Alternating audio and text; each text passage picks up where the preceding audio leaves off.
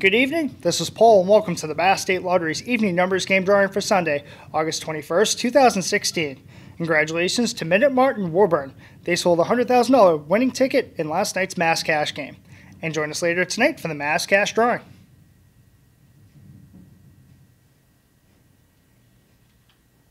Now let's take a look at the winning numbers 1631. Once again, the winning evening numbers for Sunday, August 21st, are 1631. We'll see you later for the Mass Cash drawing. Good luck.